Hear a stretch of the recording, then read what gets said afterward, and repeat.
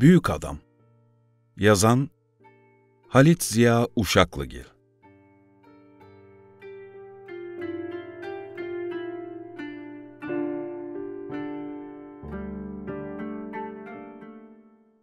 Babasına muhabbeti var mıydı, onu sever miydi? Buna evet vardı, seviyordu denemez. Onun için bu duygu sevgiden çok, muhabbetten çok bir çekinme, babadan ürkmeyle açıklanabilirdi. Anasının büyük bir konaktan çıkan bir besleme olduğunu şöyle böyle daha sekiz yaşının yetişebileceği bir anlayışla öğrenmişti. Pederine gelince, onun ne olduğunu çok iyi bilmiyordu. Lakin büyük bir adam olduğuna kaniydi beslemelikte oluşmuş huylarını kocasına karşı bütün davranışlarında da kullanan anasının onu soymasından giydirmesinden, yemekte yerinden ikide birde kalkıp bardağına su koymasından, yere düşen havlusunu alıp dizlerine tekrar koymasından, her sözüne peki efendi, evet efendi demesinden başlayarak evin içinde babasının somurtkanlığına, kim bilir nerede ne büyük işler başardıktan sonra köşe minderinde yan yatarak çatık kaşla, süzük gözle, yorgunluk alışına kadar her şeyle anlamış ve inanmıştı ki babası büyük bir adam. Aralarındaki bağlarda da bir babalık ve oğulluk alakası yoktu. Babası onu sevmiş, öpmüş müydü, okşamış mıydı bunu bilmezdi. Kendisi de onun büyüklüğünün uzağında dolanmaya öyle alışmıştı ki bunu düşünmezdi bile. Babasının ne dizlerine çıkmış ne başını göğsüne dayamıştı. Onun kokusunu bile bilmezdi. Onun hakkında yalnız bir duygusu vardı. Onu büyük bir adam diye tanımak ve bununla övünmek. Bu kendisinin kalbinde bir baba için duyulmak üzere birikmiş ne varsa onları duyurmaya yetiyordu. Onu minicik evlerinden çıktıktan sonra yürürken bekçiye, köşedeki bakkala, komşulara, terlikçiye, okulun, kendi okulunun kendi öğretmenine selam verirken gördükçe göğsünün içinde kabaran bir kıvanç olurdu. Pederin neydi? Ne yapardı? Bütün gününü nerede geçirirdi? Ne işlerle meşgul olurdu?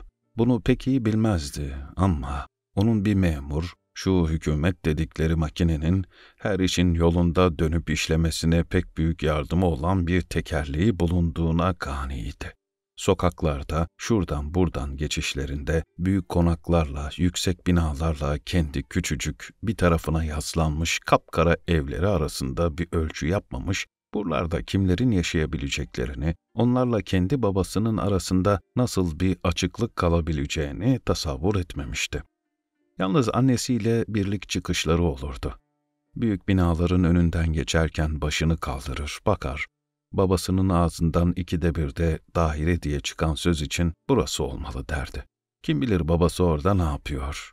Bütün bu sokakları dolduran kalabalık, gürültü, birbirine çarpmadan dönüp işliyorsa, bütün bu hayat kurumunda düzen bozulup kırılarak parçaları dağılı veren bir şişe gibi yerlere serilip dökülmüyorsa, bunu babasının ellerine, onun büyük başının içinde işleyen düşüncelerine borçlu olmalıydı. Bunu minicik dimağının sisleri arasında düşünürken çatısından kaldırımına kadar gözleriyle yokladığı o büyük binaların bir tarafında babasının gölgesini göreceğini umardı. Ve sevmediği hatta sevemediği için kendisine biraz da hınç duyduğu bu adam hakkında kalbinde başka türlü bir duygu, övünme, Böyle bir kimsenin oğlu olmaktan doğan bir sevinç kabarır ve bu duygu sevinç duygusundan boş kalan yeri doldurmuş olurdu. Daire. Ne demekti bu? Nasıl bir yerdi ki bütün iplerin uçları gelip orada toplanırdı ve bu uçlar babasının parmakları arasından geçerdi? Bunu kendi kendine büsbütün açık değil ancak şöyle böyle anlaşılan bir karartı arkasında beliren bir soru gibi düşünürken babasının şişmiş karnı üzerinde düğmeleri iliklenmiş ceketiyle elinde bastonuna dayana dayana koltuğunun altına kıstırılmış koca cüzdanıyla bunun içinde dört beş köfte yahut iki lop yumurta, biraz kaşkavalla iki dilim ekmek olduğunu bilmekle beraber ağır ağır olanca büyüklüğünü ve kafasının içindeki işlerin yükünü zor taşıyorcasına sallana sallana yürürken, etrafına selamlar dağıtıyorken görür gibi olurdu. Bir gün akşam yemek bittikten sonra annesi korkan bir sesle babasına ertesi gün yapılacak bir işi anlattı. O kaşlarını çatarak, dudaklarını şişirerek, gözlüğünü burnunun üstünden çıkarıp süzük gözlerle sanki daha iyi anlamak için dik dik bakarak sordu. Olur, gidersin ama oğlanı ne yaparız? Okul kapalı, onu yalnız bırakmak doğru değil. Annesi korka korka yalvarırcasına, acaba dedi, yanınıza alsanız da daireye götürseniz olmaz mı?'' O dakikaya kadar söylenen sözlere pek dikkat kesilmeyen çocuk bu daire sözünü işitince kalbinde bir helecan duydu ve gözlerini kaldırarak babasına baktı. O biraz düşündükten sonra, olur dedi, münasip. Yalnız kılığına kıyafetine biraz çeki düzen vermeli. Çocuk bu gece uyuyamadı. Artık şu sözün ne demek olduğunu anlayacak, babasını orada görecek, onun ne büyük bir adam olduğunu öğrenecekti.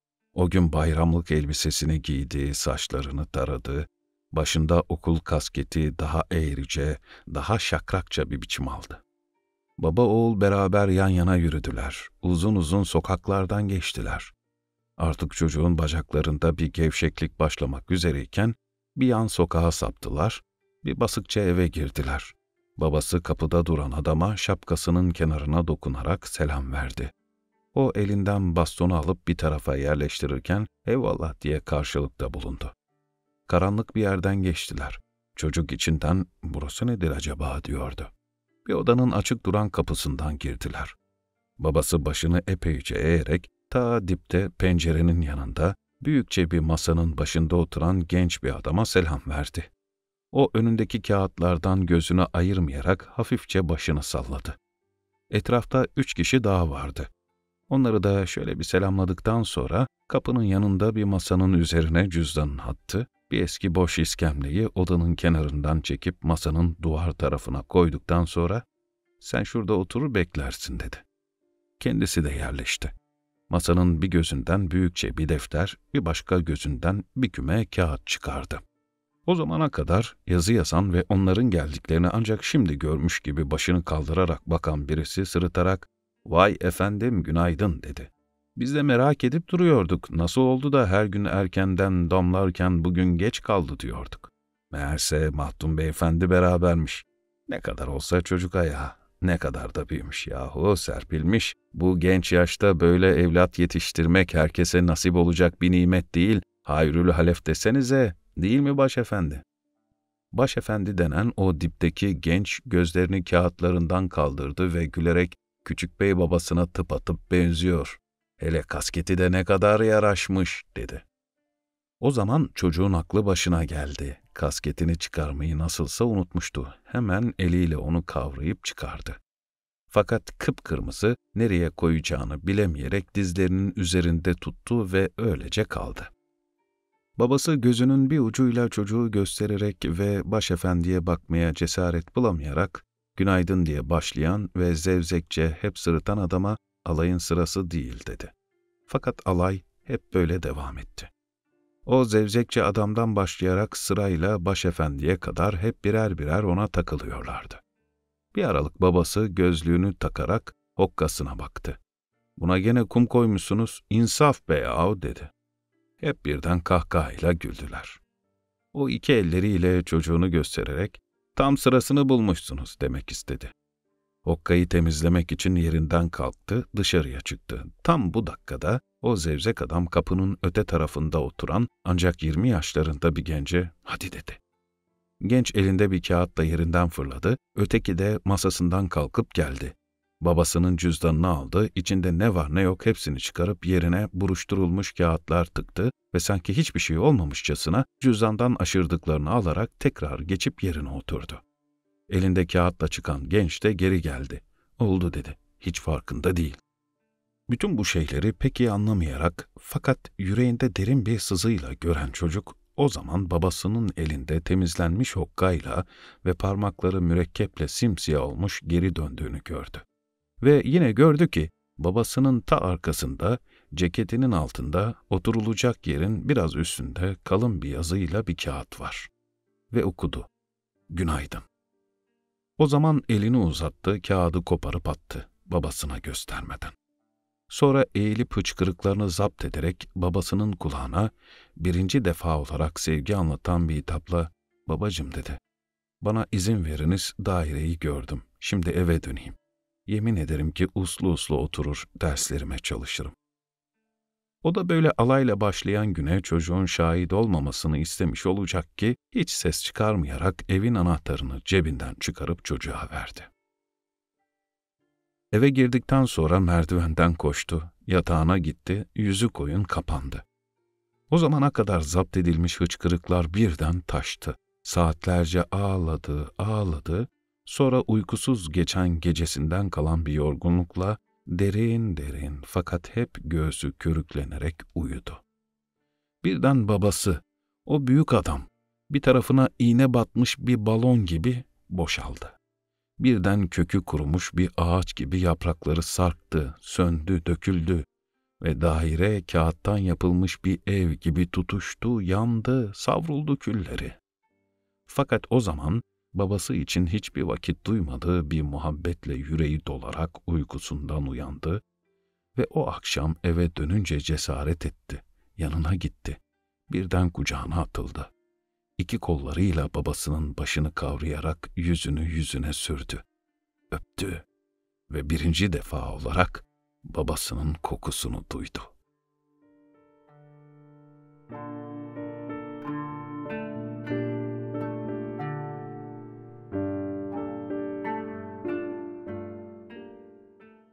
Kadın Pençesi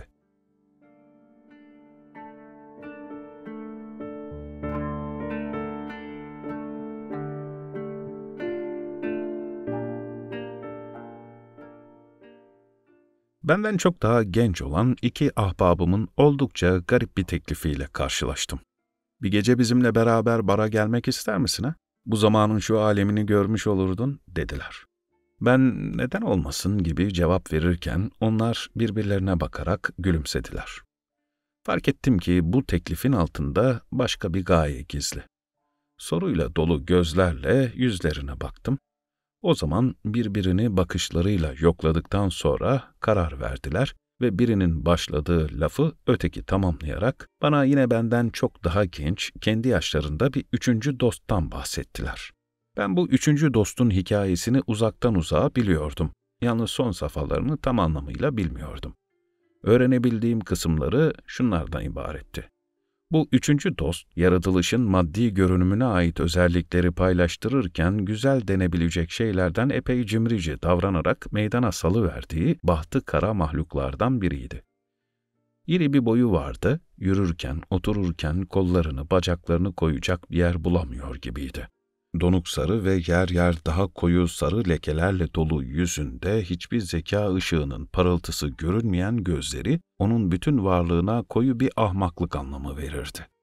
Halbuki bu genç en hassas, en fazla incelik ve duygulluğa meyilli bir mahluktu ve sanki bir perde altında örtünüp saklanmış olan zekası daima derinlere dalmaktan, kendi kendisinin ta içinde birikmiş izlenimlerin arasında dolaşıp gömülmekten haz alırcasına meydana çıkmaktan çekinirdi. Sonra kendisinin hiç sevilmediğine, sevilemeyeceğine kanaatinin acısını çıkarmak istercesine hayatı, dünyayı, bütün insanları ve onların arasında kadınları sevmek hususunda öyle bol bir açlığı vardı ki bunu göstermekten utanarak sanki sevilmeye layık olmadığı gibi sevmeye de layık görülemeyeceğine inanarak susar, ruhunun güzelliğini, iyiliğini bir ayıpmış gibi gizlerdi. Bir parça eşip, çirkinliğinin altında sinmiş duran güzel ve iyi şeyler bir kere keşfedilince, bu adamı sevmemek mümkün değildi. Onun içinde ki bana hikayesine dair etraflı bilgiler vermeye başlayan o iki arkadaşıyla ben, onu hem sever hem de sevilmesi bu derece zor olduğu için ona acırdık. Ben gene bilirdim ki bu adamın bir türlü tatmin edilemeyen sevmek ihtiyaçları birike birike bir gün birdenbire taşmış ve hep birden kümelenerek bir genç kızın üzerinde toparlanıvermişti. Bu hadiseyi bir evlilik takip etti. Onu tanıyanlar, bizler sanki bir ağızdan zavallı dedik. Zavallı. Zira bu çirkin adam muhakemesini iptal eden, yapılacak işin sakınılamayacak sonucunu önceden tahmin etmek kabiliyetini örten bir dalgınlıkla iyi yaşamış fakat fakir düşmüş bir ailenin enişteler, amcalar elinde, daha doğrusu ortada kalmış pek güzel bir kızını almıştı. Bu kızı bütün İstanbul'un özel bir sınıfa mensup halkıyla beraber bizler de hep tanırdık, hep bilirdik. Onun gösterişi halka halka açılan ve açıldıkça gözleri kamaştıran bir güzelliği, sonra bu güzelliğe pek iyi eşlik eden bir şuhluğu, ince dudaklarının daima yarı açık bıraktığı düzgün beyaz dişlerinin hayatta ne olursa olsun zevk namına ne varsa onu ısırıp yemek isteyen öyle bir hırs anlamı vardı ki, hiç kimse onun varlığından taşan cazibe halkalarının kemendine takılmak cesaretini bulmamıştı. Bu cesareti o buldu. Onun içindir ki bu evliliğin doğuracağı sonucu önceden görmekte hiç zorluk çekmeyerek zavallı diye acımıştık. Bu acı işin doğruluğunu yaşananlar ispat etti.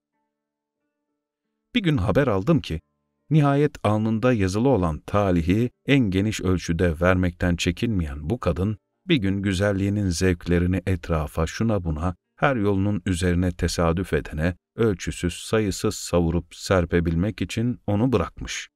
O da birdenbire hakikati gözlerinin önüne seri veren bir şimşek arasında nasılsa bulunabilmiş bir kararlılıkla ondan ayrılmıştı.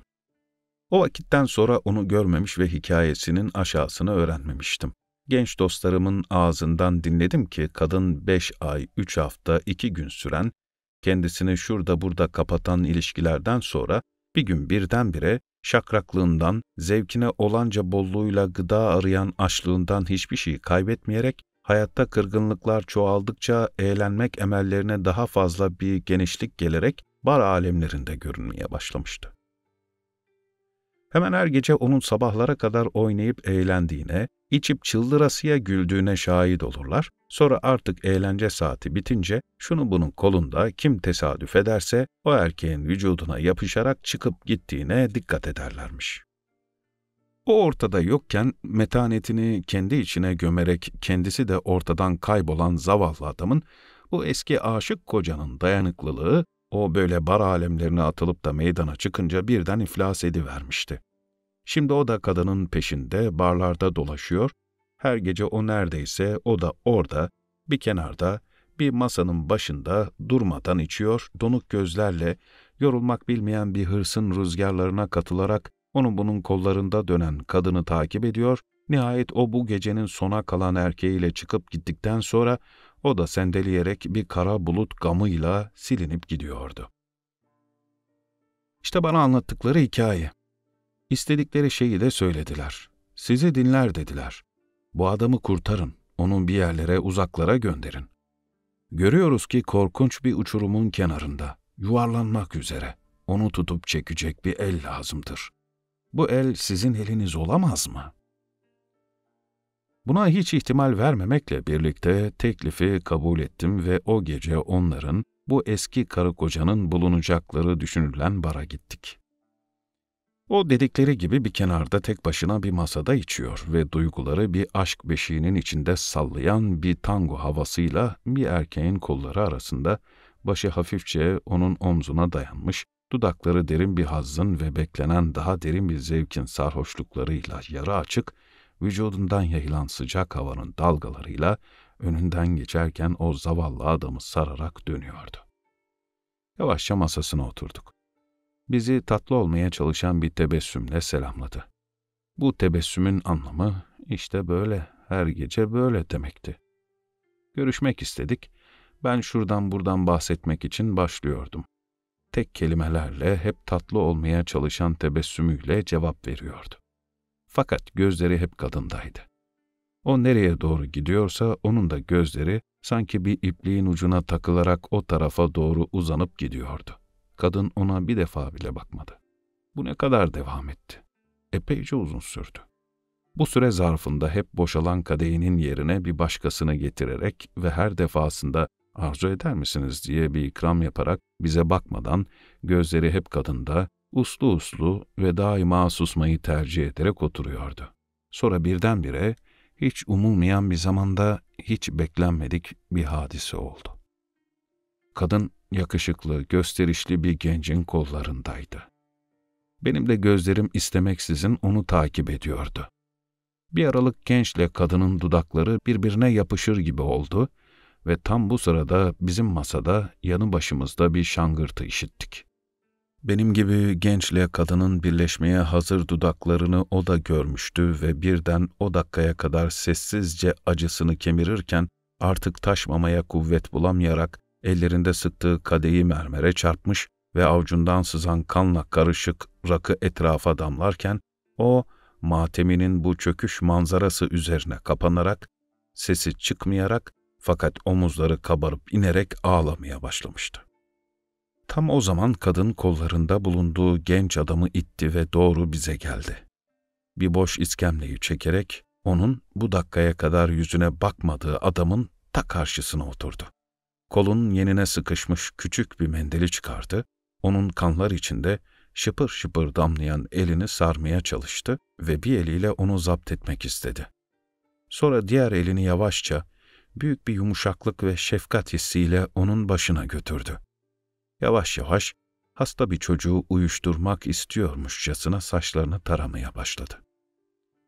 O hep böyle omuzları körüklenerek yüzü masanın üzerine kapanmış ağlıyordu. Sonra kadın yavaşça eğildi ve bu kadın pençesi şu zavallı erkeğin başının üzerinde onu avutmaya çalışırken kim bilir neresinden gelen bir dakikalık kadın merhameti ona ancak işitilen bir sesle kalk dedi. Beraber gidelim. Bu gece sen bende misafir olacaksın. Üçümüz de birbirimize baktık ve yavaşça hiçbir kelime söylemeden onları kendi hallerine, bu bahtsız erkek başını o kadın pençesinin altında bırakarak yüreklerimizde burkulan bir düğümle silinip çıktık.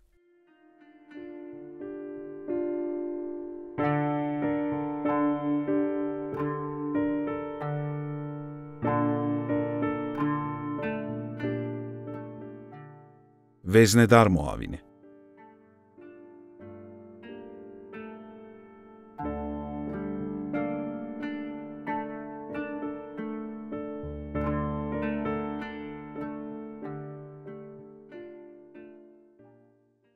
İzmir'in Frank mahallesini rıhtımın arka caddelerinden birine bağlayan geçitlerden yerel ifadesiyle ferhanelerden birinde maliye kuruluşu veznedar muavinlerindendi.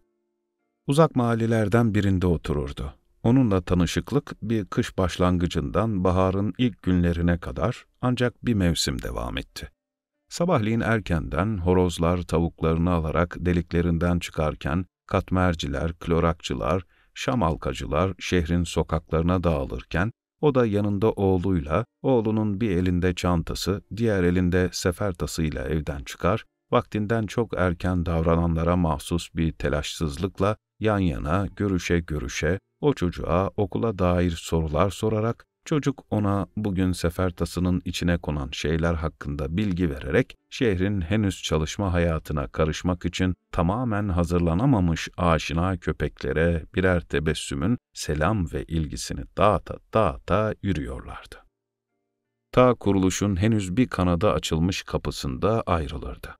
Çocuğun elinden sefertasını alır, mangalına daha yeni ateş konan kahvecinin bakmayarak uzanan eline tutuşturur, Sabahlar hayır olsun İsmail der, döner iki yanaklarından ıslak bıyıklarıyla öper, sokaklarda oyalanma can ihtarıyla çocuğu salıverirdi.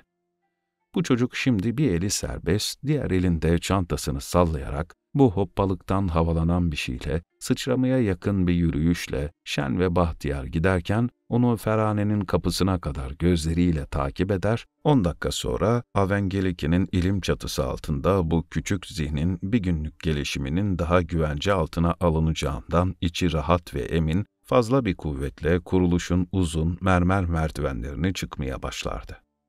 O zaman onda tamamıyla değişmiş bir şeye dikkat etmemek mümkün olmazdı. Şimdi artık o elinde sefer tasıyla öğlen yemeğini taşıyan çocuğun fakir babasından uzak olurdu. boynunda dolanmış yün atkının içinde pohpohlanarak kabaran tıraşlı gerdanından, biraz yumruca burnunun konumunun önemini hissetmekle iftihar eden gururlu ifadesinden, her basamağa çıktıkça daha sonra gelecek basamağa değerini ve iradesini hissettirmek istiyormuşçasına kuvvetle inen kalın bastonunun azimli darbesinden anlaşılırdı ki şu mermer merdivenlerden çıkan geniş omuzlu, şişkin karınlı, kırmızı yüzlü muhterem zat, paltosunun bilinemez kaçıncı kışa direneceği belirsiz, çifte tabanlı botlarının daha ne kadar tamiri kaldıracağı şüpheli olmakla beraber, bütün tüccar ve sarrafların tahsildarlarının büyük bir saygıyla selamladıkları meşhur Monsieur Epaminondas'tır. Ve yukarıya çıkar çıkmaz henüz yazhaneleri süpürüp temizledikten sonra ceketini giymeye vakit bulamamış uşağın koltuğuna tüy süpürgesini sıkıştırarak aldığı selam vaziyetine karşılık gayet resmi yün örme eldiveninin içinde parmakları gidip şapkasının kenarını tutar ve seri ve anlık bir hareketle kafasının parlayan yarım küresini ancak sezdirecek bir selam çizerdi. Onun erkenciliğine herkes alışıktı ve buna dair efsaneler vardı. Onu sabahleyin erken çıkıp akşam geç dönmeye mecbur eden esas sebebi, eşinin baskısına, evde kalabalığa, şamataya dayanamayan sinirlerine yüklemeye, dostlarının özel bir eğilimi vardı çevrelerine dair hükümlerini iyimser düşüncelerle vermek isteyenler, bu varsayımı art niyetlilikten kaynaklı olmak üzere görürler ve sadece henüz 12 yaşında olan çocuğunu sabah akşam yalnız bırakmamak için bu kuralı benimsediğine inanırlardı. Kendisi etrafın varsayımlarını umursar görünmezdi. Sabahleyin akşamdan bitirilmemiş hesapları ve akşamları da sabaha bırakılmak istenmeyerek yine bu iyi niyete rağmen tamamlanamayan kayıtları bulunurdu. Öyle ki sabahla akşam havada kalan hesapların kesintisiz zincirleme akışı arasında erken gelip geç gitme bahanesi yaratırdı. İlk işi boyun atkısını çıkarmak ve güya dün akşamdan beri ne kadar eskidiğini anlamak istiyormuşçasına bir bakış attıktan sonra onu iskemlesiyle kasasının arasında duvarda bulunan üç çengelden birine asmak olurdu. Ardından şapkasını çıkarır ve masasının bir kenarından eksik olmayan fırçasıyla özene bezene süpürdükten sonra atkısının üzerine asar, aynı zamanda orada asılı duran bir küçük siyah takkeyi çıplak fakirliğini tehdit eden nezle ihtimaline karşı başına geçirirdi. Nöbet paltoya gelirdi. Bu yakası kürklü bir paltoydu. Etekleri etrafına sürünerek bir kaza olmasın maksadıyla masanın yanından çekilerek çıkarır ve bir eliyle tutarak bir kere arkasına yanlarına bakardı. Onu çamurlardan, tehlikelerden, her türlü zarar ziyan ihtimallerinden daima sonsuza kadar korunmuş görmek isteyen, babalara yakışır bir özeni vardı ki, sağlıklı ve esen bir halde görürse, aferin. Şayet üzerine çamur sıçramış, bir oluktan su akmış görürse, işte gördün mü, dikkat etmeyince böyle olur demek isterdi. Ve o zaman fırçanın yanında özel olarak bu türden işleri görmek için bulundurulan bez parçasıyla silmek yahut böylece kurutup daha sonra fırçalamak seçenekleri arasında tereddütten ve kendi kendine ufak bir tartışmadan sonra göya kürklü paltonun fikri de alınarak verilen karara uyardı.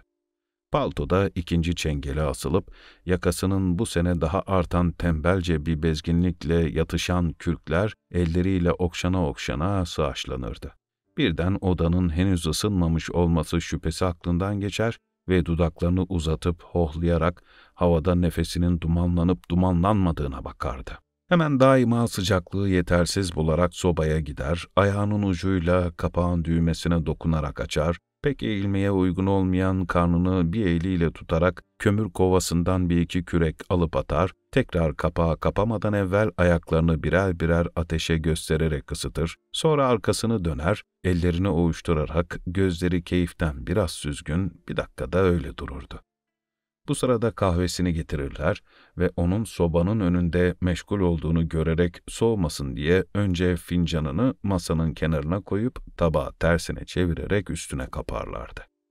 Yavaş yavaş gelir, ceketinin cebinden içi keseli meşin tabakasını çıkarır, yop kağıdını alır, kaytanını çözer, üfürerek, çift koparmamaya dikkat ederek bir tane alır, kısmen tellerinden, kısmen tozlarından yerleştirerek sigarasını sarar, Başından ve ucundan kopan telleri yine tabakanın içine kor, masanın üstüne düşmüş kırıntıları toplar, kağıdın pembe kaytanını yine büyük bir dikkatle dolayıp ucunu birleştirir ve tabakayı bir daha öğle yemeğinden sonra çıkarılmak üzere ceketinin cebine indirirken elini uzatıp kibrit kutusunu alır, tamamıyla açarak en sakat ve kırık kibrit hangisi ise onu alır, kazaya uğramamak için eliyle siper yaparak sigarasını yakar, fincanın üstüne kapalı tabağı kenarından tutar, içinin sulanmış buğusu yazı masasının üzerine akmasın diye yavaşça ve birdenbire çekip silker ve böyle gayet ağır, önünde birçok harcanacak geniş bir zamanın güven ve huzuruyla her hareketini ölçe ölçe, tarta tarta, kahvesinin güzel kokulu neşesini yudum yudum sömürerek içerdi. Bir aralık daha kahve bitmeden hatırlar ve merakla kalkardı. Sabahleyin evden çıkarken şarap şişesini unutmuş muydu? Elini çengelde asılı paltosunun cebine sokar ve bir günlük gıdasını içinde bulunduran küçük şarap şişesini çıkararak kasanın altında küçük tahta dolaba kordu. Başının üstünde saat öksürüklü, hırıltılı, ihtiyar sesiyle çalmaya başlardı. Gözlerini yarım kapayarak başının ancak hissedilir bir salıntısıyla sayardı. Altı, yedi, sekiz. Bir saat sonra iş başlayacak, öğlene kadar nefes almak mümkün olmayacaktı. Biraz telaşla davranırdı. Çekmecesini açar, içinden ceketinin kolları eskimesin diye siyah astarlık bezden yapılmış eğreti yenleri alır, kollarına geçirir, yine çekmecesinin içinden kalemlerini, kurşun kalemlerini, çakısını, lastiğini çıkarır, defterini, bir şişin üzerine geçirilmiş notları alır, çekmecesini kapayarak bunları yerlerine kor, defterini açar, Doğruluğu kesinleştikten sonra mürekkeple yazılmak üzere akşamdan kurşun kalemiyle konulmuş toplamları yazmaya, yazılanları lastikle temizlemeye başlar, bir aralık yarısındayken sönmüş sigarasını tablanın içinden alıp tekrar kibrit kutusundan bu yarım sigaraya bütün kibriti fazla bir israf görerek parmağının ucuyla eşe eşe bir sakatını arardı. Ve arkadaşlar birer birer bonjour epaminandos diyerek gelirler. Nihayet baş veznedar büyük kasayı açarak muavinlere herkesin üzerinde ismiyle bir gün evvel akşamının fazlalıklarının bulunduğu keselerini dağıtırdı. Saat tekrar hırıldar ve dokuz kere öksürürdü. Artık kuruluşta iş hayatı başlardı. Ve Monsieur Epaminandos, başında siyah takke, kollarında eğretiyenler, Monsieur Epaminondos bonjour girişiyle uzatılan çekleri, bonjour monsieur cevabını veren gözlerinin gülümseyen hoş bir karşılamasıyla alarak ikinci defa sönen sigarasını tekrar yakmaya vakit bulamadan öğlene kadar kasasından parmaklığa, peykeden masasına bitmez tükenmez aceleciliklerle şişkin karnını taşırdı. Sonunda öğlen veznenin küçük pencereleri kapanır, şapkasını bastonuna alan lokantasına evine giderek iki saatlik tatil zamanını dışarıda geçirirdi. O veznede kalır, çocuğunu beklerdi. Bir çeyrek sonra uşak gelir, kasanın altındaki dolaptan şarap şişesini, kadehleri, çatallarla bıçakları alır, buyurun derdi. O kalkar boş bir odada bir masanın üzerine kahveci İsmail'in ısıttıktan sonra getirip bıraktığı sefer tasının karşısında oğlu Can'ı kendisini bekler bulurdu. Ve baba oğul burada bu fakir yemeğin karşısında küçük şişedeki şarabı paylaşarak sessizce karınlarını doyururlardı. Ben başlarda bu usulü çocuk için katlanılan bir fedakarlık olarak kabul etmiştim. Arkadaşlardan biri safsınız dedi. Eğer evleri uzaksa çocuk yemeğini okula götürür. Baba da herkese uyarak bizimle beraber lokantaya gelir, güle oynaya yemeğini yer. Siz o karıyı bilir misiniz? Hep o karının şerrinden. Ona bir şemsiye almak, bir yeni şapka yaptırmak için ahmak herif bir ay aç oturabilir. Bu bana biraz gerçeği göstermeye başlamış oldu. Durumu biraz daha ayrıntılarıyla görmeye, ona dair olan söylentileri biraz daha meraklı dinlemeye çalıştım. Bir gün ona biri parmaklığın arasından Epaminondos nidasıyla seslendi. Bu ses çekleri uzatan ve Monsieur Epaminondos bonjour diyen iş insanlarının sesine benzemiyordu.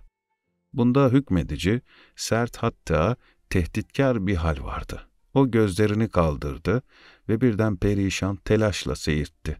Hemen dışarı çıktı. gelen adamı alarak uzaklara götürdü. Bu küçük sahne arkadaşların dikkatli gözlerinden kaçmadı. Biri diğerine dedi ki, işte insan karısının bu derece mağlubu olursa böyle olur. Borç, borç, sonunda bir gün... Sohbete diğerleri de karıştı. Anladım ki Epaminondos yavaş yavaş borç denen uçuruma yuvarlanmış ve vurguncuların tırnaklarına takılmıştı. Bir veznedarı memurluğunu kaybetmek tehlikesine kadar sürükleyebilen bu vartadan arkadaşlarını haberdar etmemeye çalışırdı. Lakin arkadaş gözünden bunu saklamak mümkün müdür?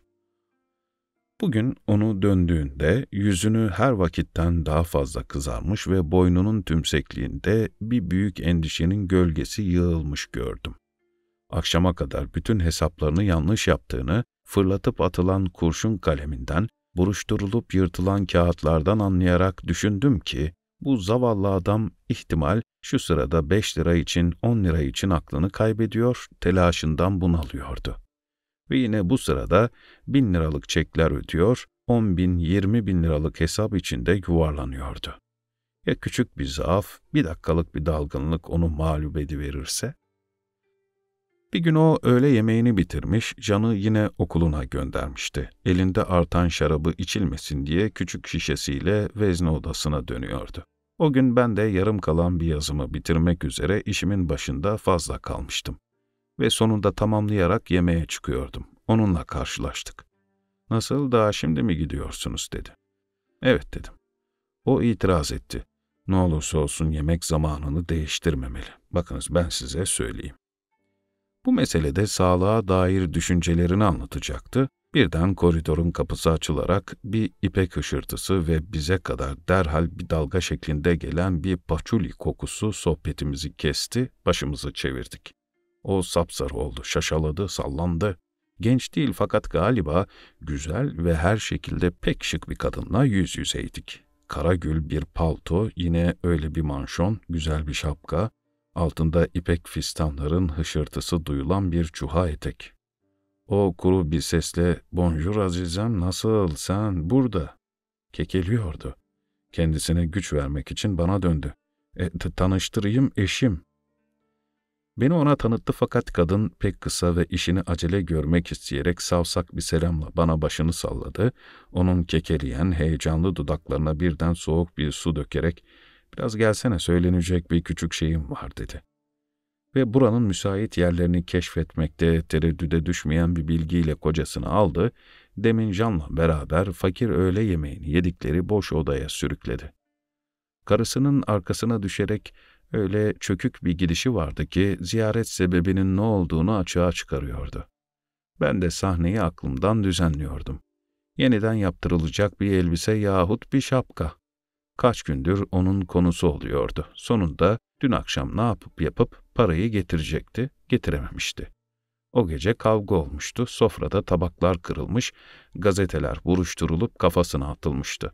Nihayet bugün sabahleyin Jan'a verip gönderecekti, göndermemişti. O zaman ben merdivenlerden inerken bu hikayeyi düşünüyor ve Monsieur Epaminondas'ın içeride ne korkunç bir bunalıma maruz kaldığını düşünerek açlığımdan bir kısmını kaybediyordum. Yemekten dönerken başında takkesiyle son derece telaşlı kurumun kahvecisi İsmail'in yanından çıkarken gördüm. Ben oradan geçerken İsmail benden rica etti. Affedersiniz beyim şu kağıtlara bakar mısınız? Elime bir demet kağıt tutuşturdu. Bunlar birer ikişer, üçer liralık farklı tarihlerde verilmiş, farklı büyüklükte küçük küçük senetlerdi. Ben toplayıp hesap ederken İsmail kendi kendine söyleniyordu. Bir kere tutulmuş bulunduk diyordu. Ya eskilerden vazgeçmeli yahut elimize geçeni ona vermeli. Birden kaltak dedi. Başımı çevirdim, İpek fistanlarının hışırtısıyla kadın geçiyordu. Ne bana ne İsmail'e baktı. İsmail tekrar etti. Kaltak, üstündeki elbise hep benim paralarla. Kağıtlardan sekiz on tane vardı, toplamı haber verdim. Yirmi yedi dedim. O, öyleyse elli dört dedi. Önce ne demek istediğini anlayamadım. Sonra İsmail'in ayda ikişer kuruştan faizi hesap ettiğini anladım. ve böyle bir maliye kuruluşu kapısında kendine göre ve nispeten insaflı küçük bir sarraflık ticareti kuran bu Türk'e gülümseyerek çıktım. Şimdi Monsieur Epaminondas tekrar sakinleşmiş ve karısına tutuşturulan kahvecinin iki lirasından sonra bin liralık bir çek ödemişti. Sonra ufak bir endişeyle bana baktı. Tekrar gözlerini çevirdi. Telaşla masasının üzerinde unutulan, içinde iki parmak şarabıyla şişe gözüne ilişti. İsraf olmasın diye şişeyi paltosunun cebine yerleştirdi. Ceketinin kollarını eskimekten koruyan eğreti yanlarını düzeltti ve bu gece evde kavga olmayacağından emin, içi rahat ve huzurlu, oradan oraya binlerce liranın içinde seyirtip yuvarlandı.